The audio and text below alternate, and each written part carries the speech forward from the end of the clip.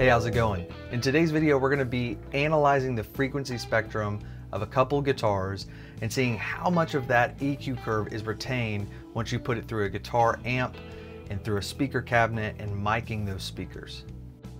So let's first talk about all the variables that we're gonna be working with today. There are so many things that affect the way a guitar sounds and is going to affect the EQ curve, especially when you put it under a microscope like we're going to be doing today and analyzing the frequencies. So I'm going to just talk about what the process is going to be like for this video. We're going to take a Les Paul and a Tele, we're going to plug them in direct into my Universal Audio Apollo, and we're going to analyze what that direct guitar signal frequency range is and where some peaks are. And then we're going to put it through this Dumble clone, the Smart Bell, and we're gonna mic it with both a 57 and a condenser mic. Um, it's just a pretty generic kind of U87 based um, condenser microphone. And we're gonna put it through this cab that has EV12Ls, and then we're also gonna be putting it through my Paul Reed Smith cab that has a Celestion V30 in it. And what we're gonna be looking for is how much of that core direct guitar sound and those EQ curves are retained when you're going through a couple different speakers, through a couple different mics, and just seeing how much of that is retained through it and maybe what is taken away or what is added to that frequency spectrum. Now, that being said, there are so many variables that are going to affect this beyond what we are testing today. So keep that in mind as we do today's test, that these are not the only factors in retaining what a guitar sounds like.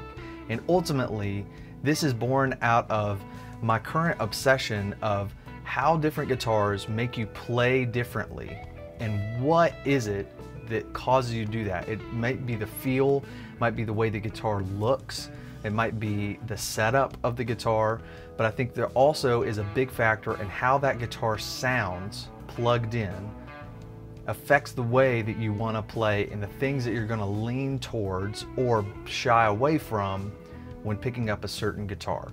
So let's nerd out and get into it. So what we've got here is we're in Logic Pro and I've got each track pulled up and we're going to be going through the Blue Cat Frequency Analyst um, to kind of have a visual representation of what's going on here. So each guitar, the Les Paul and the Tele, have a direct recording, a condenser on the EV12L, a 57 on the EV cab, a condenser on the Celestion Vintage 30, and a 57 on the Vintage 30. And so I have the mics about eight inches away from the speaker and fairly centered uh, on the cone. So what we're gonna do is we're gonna go one guitar at a time and I highly recommend maybe putting some headphones in for this part of the demo so that you can kind of associate your ears with some of the frequencies that you're looking at on the analyst here. So we're gonna start with the direct and then we're gonna go to the condenser on the EV, 57 on the EV, we're gonna go condenser on the V30 and 57 on the V30. Um, and so that's going to kind of give you a better representation of the mics. Um, and then we'll go condenser on the EV, condenser on the V30, 57 on the EV, 57 on the V30.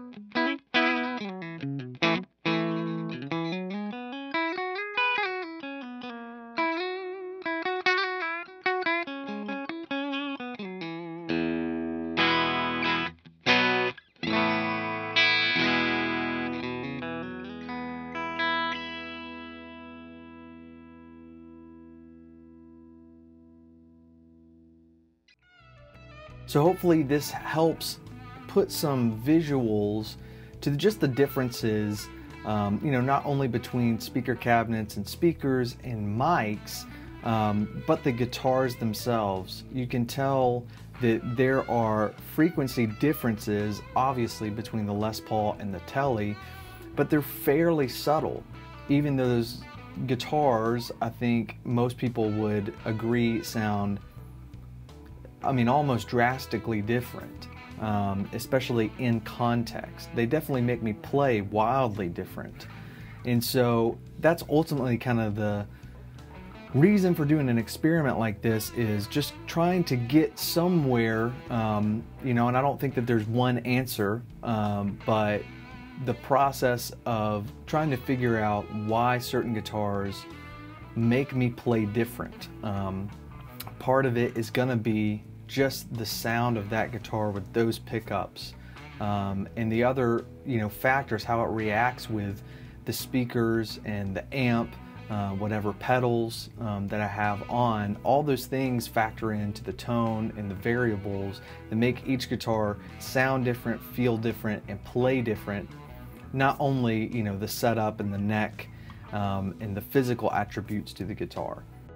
Ultimately, I feel like there is a significant retention of the guitar's peaks and specific EQ curve, just depending on the specific guitar and pickups that are involved, that you can visually see um, are retained there. Um, now, these speakers and the mics are all cutting off extremes, okay? And those extremes I don't think are necessarily heard as much as they're felt um, especially in the context of a guitar. Ultimately, it really sits in that mid-range frequency spectrum. But even within that, you can tell that the Les Paul leans, you know, sub the 470 uh, hertz here. Um, and the Tele kind of pushes a little beyond the 2K.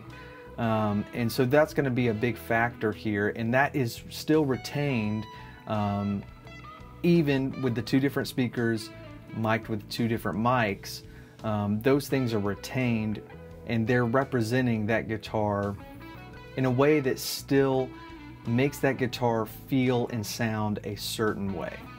Well, hope that you enjoyed today's video, kind of a nerd experiment um, here in analyzing these guitars with different mics and different cabs. Ultimately, uh, what you like is what you like, and you don't have to get this deep into knowing about it. It's something that I find enjoyment out of, it's something that I value, um, and being able to use that to my advantage, knowing that a certain guitar through a certain speaker is going to give me a result that not only sounds a certain way, but puts me in a place to where I feel different and I play different things. Um, that's really fun for me to kind of know that and know more about that and be able to get more consistent results with the gear that I do have. Uh, if this is something that you like, please like and subscribe to this new uh, channel and share it with your friends, uh, other gear nerds. And if you like to dive into stuff like this, please let me know. I appreciate everyone who's interacting with me online. And until next time, I've been Collin. This up just a little bit.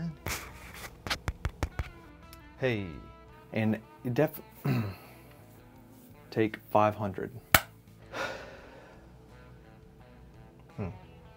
Analyzing. All right, let's have, mm, okay, I hate that. Hey, you know what?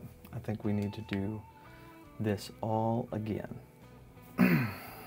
oh my God, okay.